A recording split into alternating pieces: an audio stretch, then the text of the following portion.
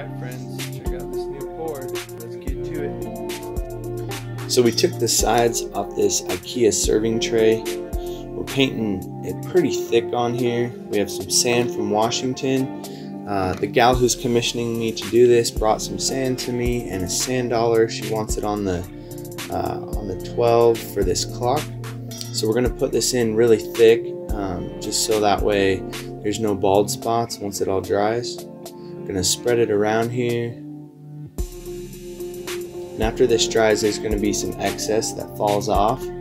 So we're gonna clean that up really nice. Uh, get all the debris, all the dust off. Now we're mixing our epoxy, throwing on some ultramarine blue, and then we're gonna go with an iridescent blue, and then a clear, and then here in a sec, we're gonna get some white mixed up and we're gonna lace that across.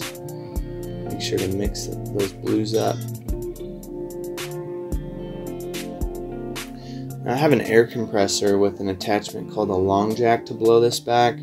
Uh, just does it cold, there's no method to it.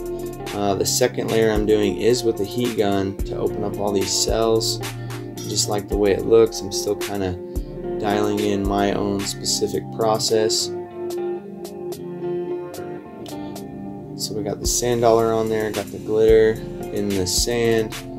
Um, I just encourage you guys, um, find your own way, find your own process. You know, you can learn some stuff from me, that's great, but um, be unique to yourself. Don't don't try to recreate someone else's work necessarily.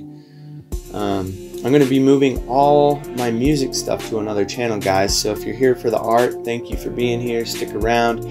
Um, if you like my music, then you know follow that channel too. It's not open up yet, but I'll give you guys notifications. Um, if you like the music on this track, that's that's part of one of my instrumentals that I did. So I appreciate it. I, if you want to comment anything um, about how this video could be better or details I might have left out. I know I didn't put every single step in here. I'm trying to get your guys' attention a little bit, not trying to lose you guys. So I appreciate you and have a wonderful day.